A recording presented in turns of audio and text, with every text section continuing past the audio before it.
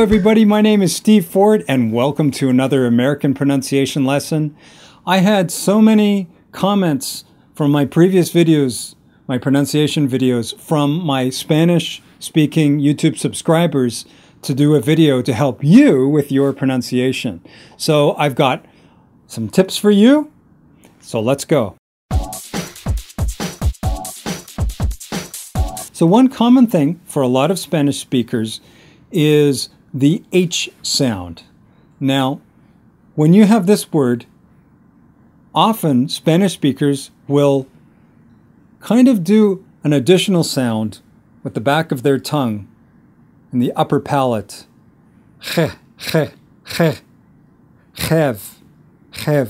And I'm sure that there are different intensities of that. You want to bring your tongue, the back of your tongue down. I know it's going to be hard. Maybe you're going to have to try and push it down, but I'm sure that you can do it.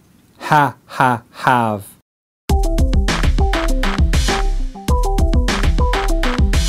Another one which is quite common for Spanish speakers is to pronounce vowel sounds in English more softly than you would in English. So you want to hold on to those vowel sounds more. And I'll give you an example.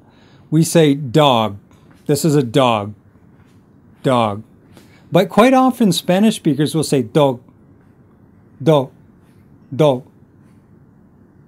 So not only are you not saying the ah sound, but you're even taking the o sound and shortening it by just saying dog, dog.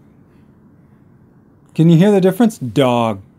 We don't pronounce the G, that's fine, but you want to stretch that vowel sound out. Dog.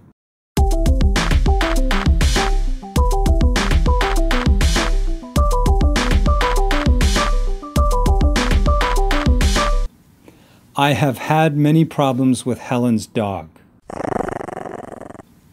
I have had many problems with Helen's dog. Another one is the Y sound, like in you. We don't say Jew. So when you say Jew, Jew, the tip of your tongue is coming forward. It's, it's touching the, the top palate. Jew, Jew. You don't want to do that. You want to keep your tongue relaxed. Yeah, yeah. And the back is touching the back of the palate. Yeah, yeah, you. Can you hear the difference? Ju, you. So you can hear the difference, but try to see if you can catch yourself in the middle of when you're speaking.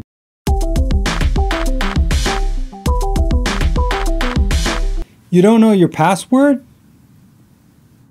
You don't know your password? You don't know your password? Last one is the V versus B. So we have very and we have berry. Now this isn't a problem for all Spanish speakers, but some may have this problem. So let's practice this one. The berries are very beautiful. The berries are very beautiful. Okay, everybody, all of my Spanish speaking YouTube fans, I hope that you enjoyed this video. If you have any comments or suggestions, you can leave them in the comment section below this video. If you want to subscribe to my YouTube channel, you can do that here. And if you want to contact me, you can do that at the link below this video. We'll see you in our next lesson. Bye for now.